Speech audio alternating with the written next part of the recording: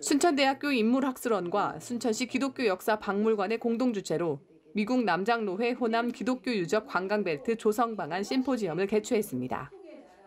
순천대 인물학술원장 강성호 원장의 개회사를 시작으로 최혜영, 이웅 교수 등이 조선시대 한반도 남단에 영향을 준 미국 남장로교 선교 역사에 대해 설명했습니다. 발표자들은 호남 지역 기독교 유적 관광 벨트 조성 방안에 대한 당위성과 사례를 주제 발표로 이어갔습니다.